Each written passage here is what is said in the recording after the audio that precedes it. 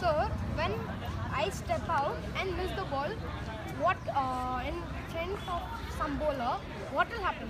The first thing first, when you're stepping out, you need to cover the line and make sure that once you step out, you don't miss the ball. But when it turns, When we step out, we don't allow the ball to pitch and turn away.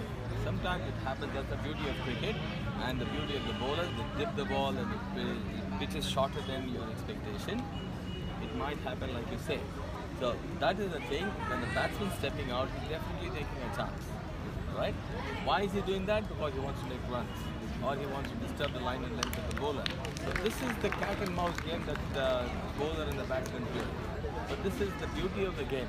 But the batsman should be smart enough to cover the line and make sure that he's stepping out to a ball that he thinks that he can reach the pitch. Convert the ball into half volley. Don't allow any spin or the bounce to happen and negotiate the ball, play the shot. There's no question of leg before because he stepped out a long distance. Alright, it's about just missing and getting stumped is the only thing that can happen.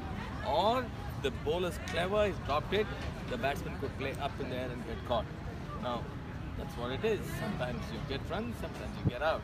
So the batsman should practice enough to understand, read the line in length, and reach the pitch of the ball. Are you happy with the answer? yes sir. Good.